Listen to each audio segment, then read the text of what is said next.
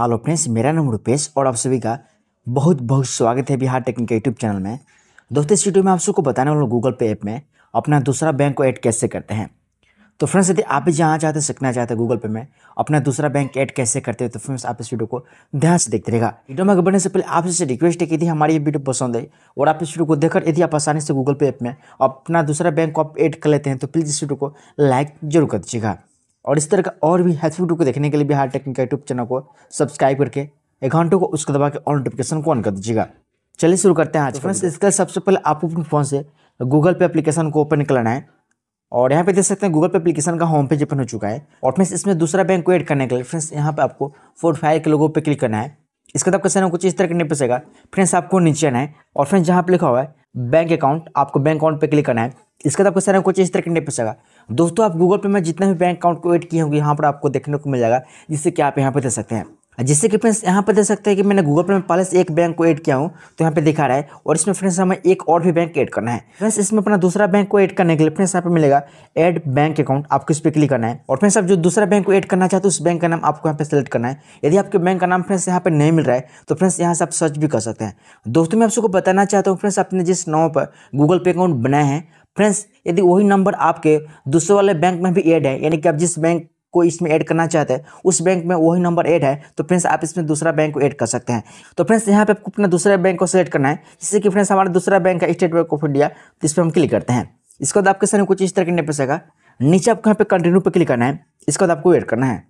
इसके बाद आपका सारे कुछ इस तरह पर जाएगा फ्रेंड्स आपका नोट आउट गोइंग इनकम दोनों सर्विस चालू होने चाहिए, तभी आपका दूसरा बैंक भी ऐड होगा। तो फ्रेंड्स यहाँ पे देख सकते हैं कि हमारा दूसरा बैंक यहाँ पे ऐड हो चुका है। तो फ्रेंड्स नीचे आपको यहाँ पे I will do it letter पे क्लिक करना है।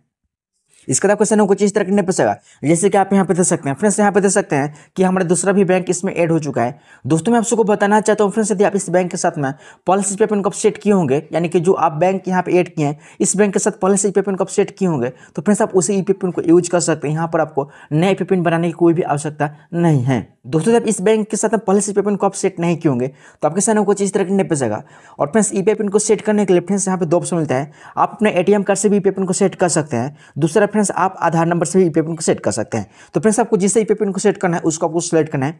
जिससे कि यहाँ पे हम एटीएम कार्ड को सेलेक्ट करते हैं, फिर नीचे आपको कंटिन्यू पे क्लिक करना है।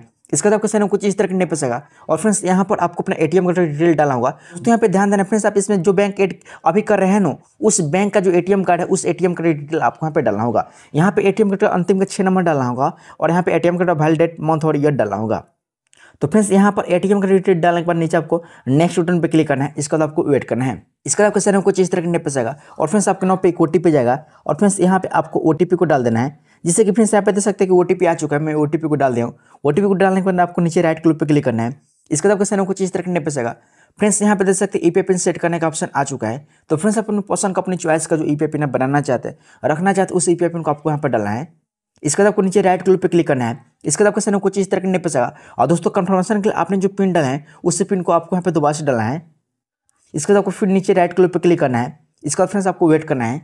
इसके बाद आपका सेना कुछ इस तरह करने पर आएगा, जिससे कि आप यहाँ पे दे सकते हैं। और फ्रेंड्स आपका ई पेन सेट हो जाएगा। दोस्तों, यहाँ पे जो ई पी पेन सेट की, इसी पेन को याद रखना है, क्योंकि आप इस बैंक के साथ में जब भी ई पे ट्रांजेक्शन कीजिएगा, उस समय आपसे यह पिन मांगा जाएगा।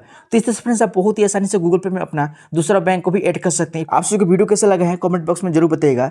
वीडियो पसंद है तो वीडियो को लाइक कीजिएगा। इस वीडियो के रिलेटेड को डाउट फ़िल्म या कुछ पूछना चाहते हैं तो इस कमेंट बॉक्स में कमेंट के कम से पूछ सकते हैं।